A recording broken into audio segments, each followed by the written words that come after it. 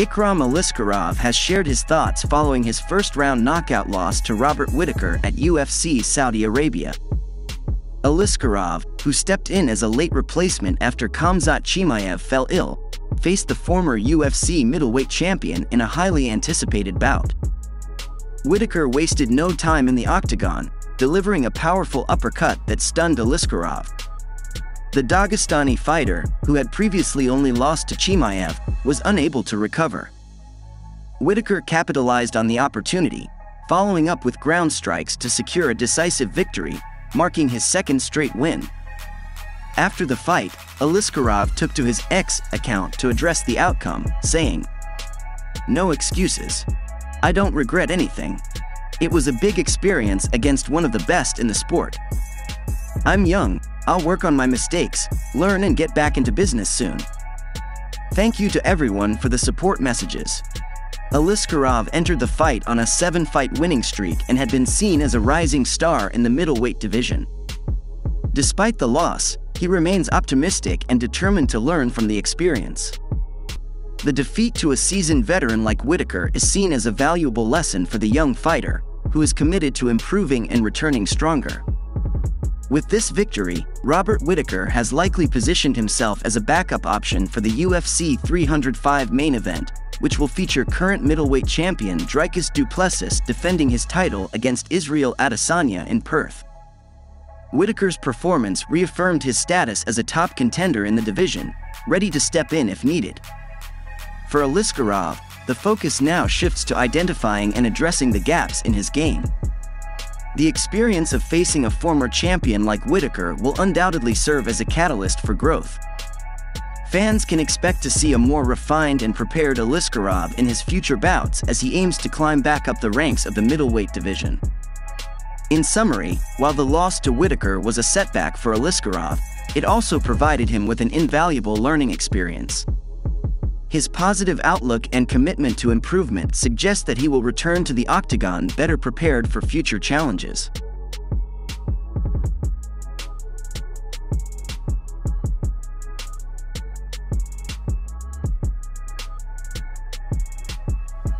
The rivalry between UFC stars Conor McGregor and Michael Chandler continues to heat up, especially after McGregor's injury led to the cancellation of their highly anticipated main event at UFC 303. McGregor, who broke his toe during training, has been vocal about his eagerness to return to the octagon. He made an appearance at a Bellator event in Dublin, sparking reactions from fans and fighters alike. Michael Chandler, frustrated by the situation, took a shot at McGregor on social media. Chandler pointed out McGregor's recent appearance at the 3 Arena in Dublin, where they were supposed to hold a press conference on June 3 before the fight was called off. Chandler's message read, Speaking of showing up to events, glad you finally made it to the 3 Arena where the press conference was supposed to be June 3rd. Sweet slippers. Who's the Bellator tick now? This comment highlights Chandler's frustration with the continuous delays and McGregor's sporadic appearances. Chandler, known for being a dedicated and consistent fighter, is eager to get back into the octagon and face McGregor. The ongoing feud between these two fighters has fans eagerly anticipating their eventual showdown. Chandler's chances against McGregor remain a topic of debate among MMA enthusiasts. While Chandler is known for his power and wrestling skills, McGregor's striking and unpredictable style always make for an exciting fight. As both fighters continue to exchange barbs, the anticipation builds for when McGregor will fully recover and the matchup can finally take place. For now, fans will have to wait and see how this rivalry unfolds and when they might see these two competitors face off in the cage.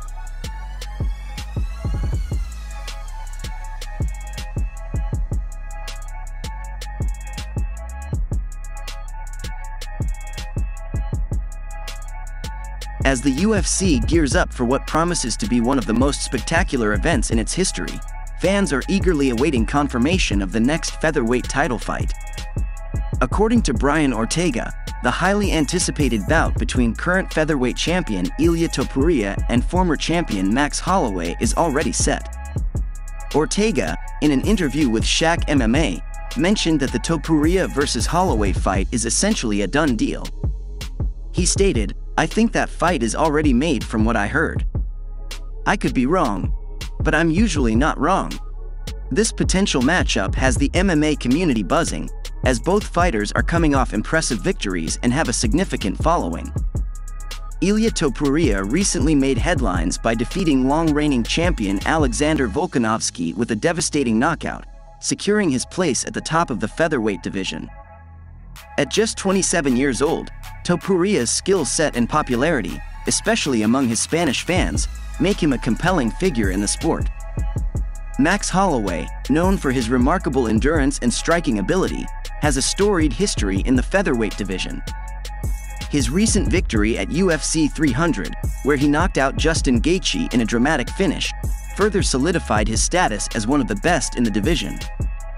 While the UFC has yet to officially announce the fight, there is speculation that Topuria and Holloway could face off on September 6 at UFC 306.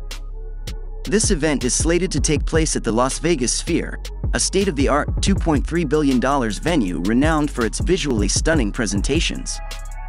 The Sphere's unique capabilities could provide a breathtaking backdrop for what many consider a dream matchup.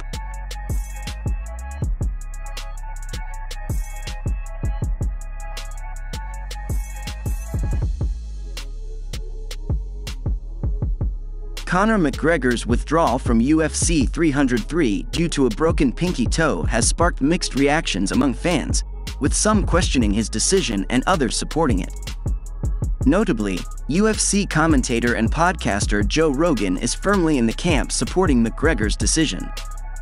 McGregor has a reputation for fighting through significant injuries. His victory over Chad Mendes with a blown knee is frequently cited as a testament to his toughness.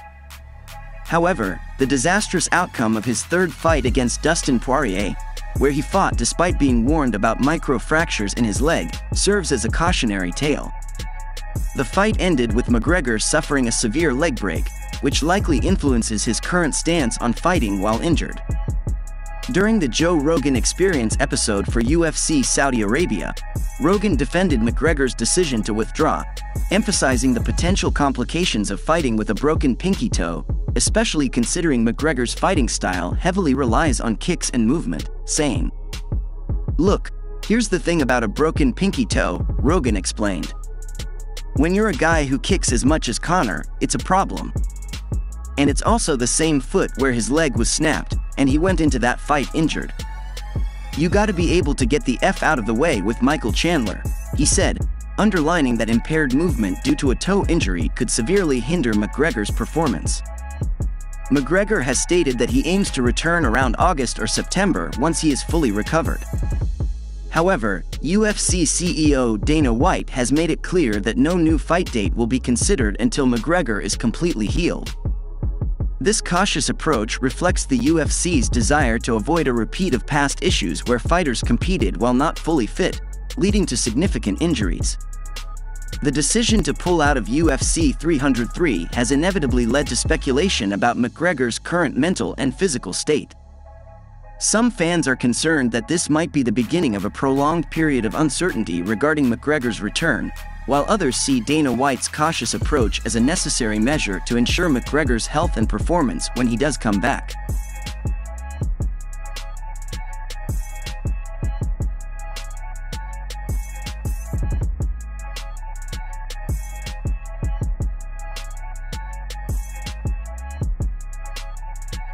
UFC CEO Dana White has brought Paige VanZant back into the spotlight, this time by signing her to compete in Power Slap, a slap fighting competition. She, who previously ventured into bare-knuckle boxing with BKFC, has now added another unique combat sport to her resume.